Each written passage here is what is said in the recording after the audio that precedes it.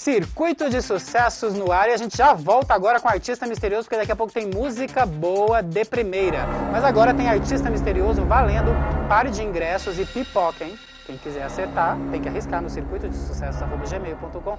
Quem é esta pessoa que trabalhou com Rafael Leandro? Quem será? Fica ligado, hein?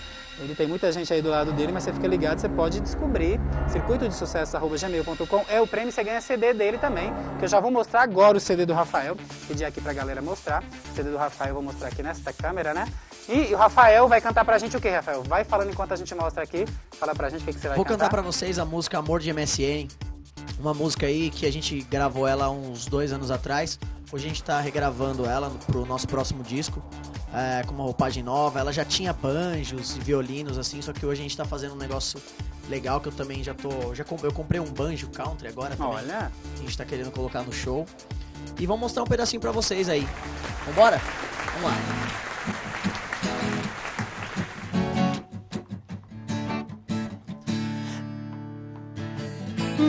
Pisou e me esnobou, agora chora e geme Porque eu terminei com ela pelo MSN Me pisou e me esnobou, agora geme e chora. Tô na pista do sucesso, tenho pra escolher agora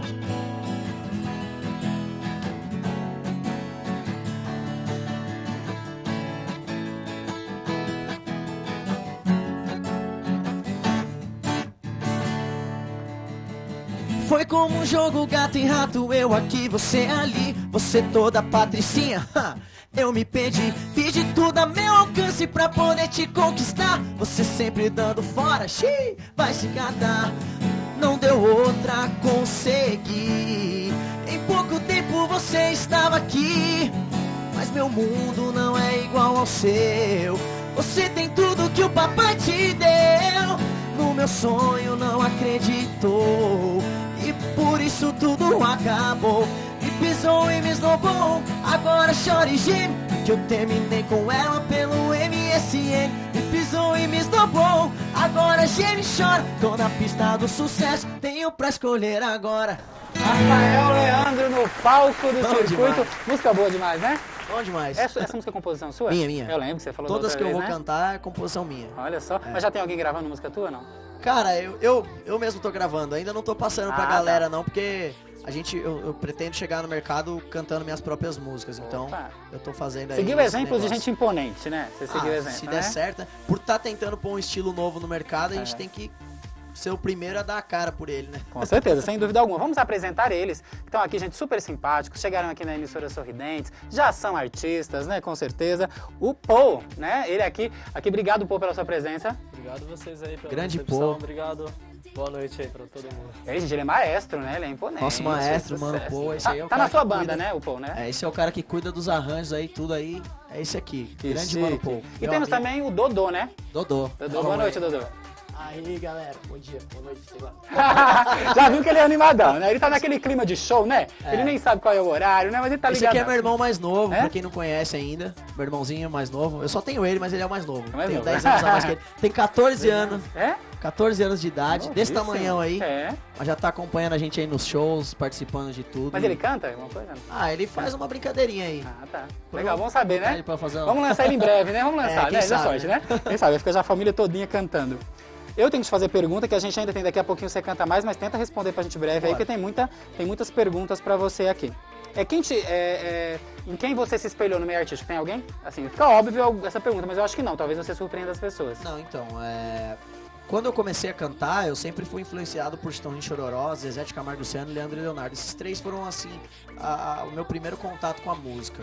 Hoje, hoje se eu for falar, eu, eu me inspiro bastante no Bon Jovi, que eu gosto bastante Tá do som do Bon Jovi.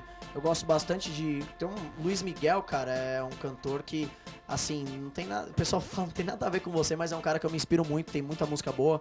Adam Lambert, não sei se você já ouviu falar, é um cara que participou do Ídolos em 2009. Ele chegou na final e o que aconteceu? É, por ele ser meio muito polêmico, o pessoal acabou não dando a vitória pra ele, que com certeza era dele, tanto é que hoje ele é o único que tá famoso do programa. E, cara, eu me inspiro em bastante coisa, assim, country americano, Kenny Chesney, é, Alan Jackson, gosto bastante. Gosto de Jack Owen, Kate Urban, pra mim, é um dos caras que hoje tá no, no jurado do American Idol.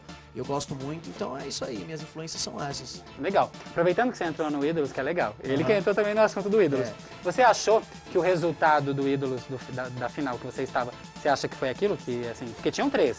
Você acha que Aham. deveria ter sido quem ganhou? Ah, a sua opinião, eu acho que a, a opinião minha- você acompanhou não, a ali, né? minha- Você estava junto. A minha opinião é, é meio complexa, entendeu? Porque eu acho que ah, no, no programa reality show Ídolos, assim, não só ele, como outros programas, é, diferente do, do- do- dos outros países, o Brasil, a gente. Quem ganha mais é quem tem a história. A história mais. a de vida mais triste. O pessoal, eles não. Eu acho que assim, eu acho que um programa, quando ele, ele, ele se propõe a fazer um programa musical, ele tem que ser um programa musical. Focado Não interessa música. se você é da favela, não interessa se você. Porque assim, ninguém tem culpa onde, nasce, Sem onde dúvida. nasceu. Eu acho que a vida é assim. Talento é talento, né? Não, é independente. de, de, o de cara pode condições. ser da favela, canta muito. Não, então ele ganha. O cara pode ser filho do, do Bruno e Marrone. O cara pode ser, mas se canta muito, a gente tem que valorizar. A gente vê a Sandy. A Sandy é uma excelente cantora, não Sem tem como dúvida. falar que ela só é o que é porque é filha do Chororó. Não. Porque ela canta muito. Saca? Então eu acho assim, é, esses programas musicais, eu, eu sou até- suspeito em falar. Eu acho que a pessoa tem que valorizar o, o cantor em si, o artista inteiro, entendeu? E graças a Deus acabou o programa é, dos quatro finalistas que ficaram for- foram eu, o Léo, a Kinara e o Everton. Eu fiquei na Record, tive esse É isso que eu ia falar, a gente vai falar sobre esse assunto. Daqui a pouco a gente fala disso. Então, mas, é- mas adianta pô. aquele assunto. Mas você acha que quem ganhou? Você acha que poderia. Lógico que você, né? Na minha Não, opinião, cara, você tava ali sem dúvida. Mas muita eu gente digo, torcia- quem ficou? Muita gente torcia pra mim, eu concordo com quem ficou. É, eu concordo, o Everton pra mim, É ele ter ótimo. ganhado, além de ser um grande amigo que eu fiz na casa, e ele é ótimo. Eu acho que assim, ele tem um diferencial grandioso no meio do samba, uma voz diferente, e é um produto que daria muito lucro. Mas é que o Brasil tem que saber trabalhar, né? Eu, eu falo muito Brasil, às vezes, porque eu sou muito crítico quanto ao mas tá nosso certo. país, entendeu? Não, mas acho que tá certo. É o pessoal- Brasil, o porque. pessoal, o pessoal se, se vende muito, entendeu? Eu acho que isso é o problema. Mas e tá Rafael, certo. é e Rafael deu sua opinião. É isso que eu queria. A gente aqui no circuito tira opiniões. E Rafael vai falar daqui a pouquinho sobre o Gugu, sobre estar na Rede Record, sobre trabalhar com um dos ícones da televisão brasileira. E mais uma vez agradecer a Rede Record por ter liberado ele pra estar aqui. Ele é sucesso. Mas vai cantar mais pra gente. Vai cantar o que, Rafael teu? Que tá aqui no CD. Fala pra Vou gente. cantar mais uma música minha. Não, verdadeiro amor não. Vamos fazer essa daqui, pô. Vai lá. Manda brasa. Acabou pra você. Vamos lá.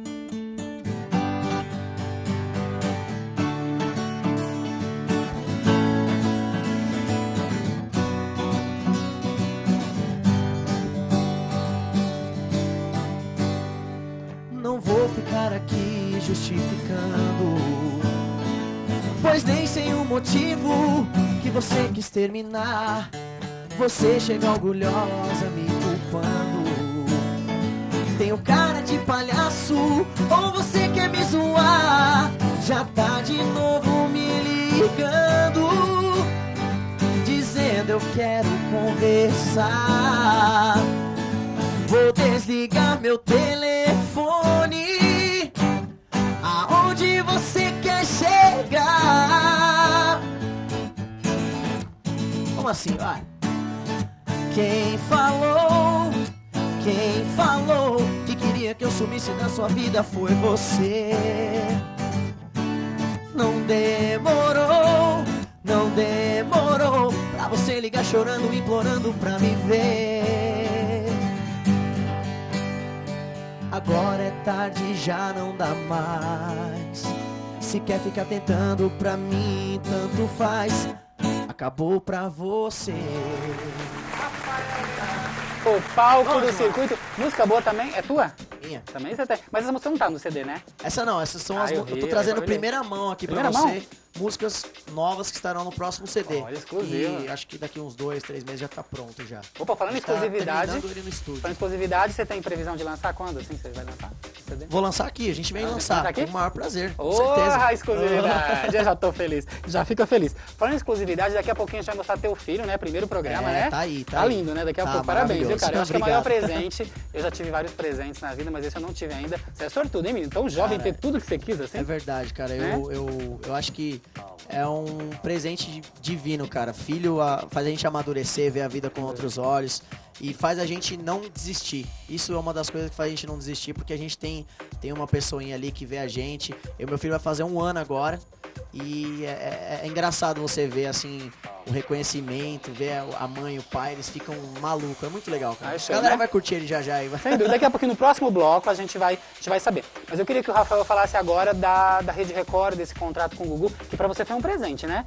Porque Ah, todo certeza. domingo lá no, no- no- em um dos líderes de audiência, Verdade. falar um pouquinho do teu trabalho e também parabenizar o Gugu pela contratação que realmente merece. Um menino de muitos anos e você já tinha pisado no palco dele, né? Já, já. Foi até engraçado. O primeiro dia que eu, que eu reencontrei com o Gugu, pude estar contando a história da minha vida pra ele. Ele, ele lembrou, falou, nossa, que legal e tal. E assim, quando eu saí do programa Ídolos, eu tava sem perspectiva. é, eu tava com perspectiva de continuar minha carreira, fazendo meus shows. E graças a Deus tá cada vez Tá crescendo mais. É, e ter esse convite do, do pessoal do musical da Record pra fazer parte desse. do- com o Gugu do, do programa Desafio Musical Sim. foi assim. Fiquei muito feliz, entendeu? Porque não só o programa Desafio Musical, mas como é, um todo, a, a equipe da Record tá dando um, um auxílio muito legal. É, já, a gente já tá produzindo músicas para novela, para as próximas novelas. Então, assim, é, isso, isso assim tá sendo grandioso para mim. E ainda poder participar todo domingo, vendo bastidores, conhecendo artistas de outra forma, Sem né? Não dúvida, de como uma fã. forma, Ali você sim. tá conhecendo artistas Você é como, da equipe, né? é, é muito legal. Com o próprio Gugu, é muito legal, assim, tá com ele. Ele é uma pessoa, cara, que você não. Você não a gente que vê não tem.